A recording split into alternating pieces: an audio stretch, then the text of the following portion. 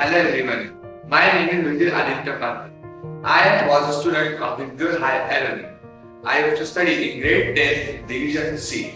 I had secured 99.4% in my board examinations.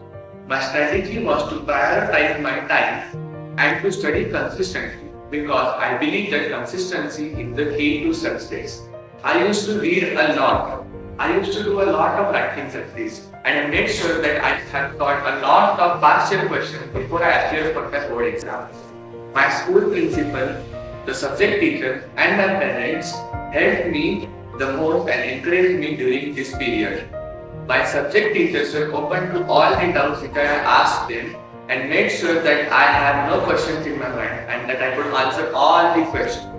My parents made sure that I remain cool and calm throughout the year and not get overstressed. I used to wake up early around 5 am and I have to do exercise and meditation for half an hour because I believe that it helps us improve your concentration and freshen up your mind. I did not have any particular schedule or any particular routine, but I made sure that I taught the past year questions and certain sam- sample papers daily. Keep a balance between your studies and recreational activities as it helps in increasing the concentration, freshening up your mind and reduce the stress. Develop a habit from day one of studying each and every subject for a certain period of time daily. Follow the process diligently and the good results will follow.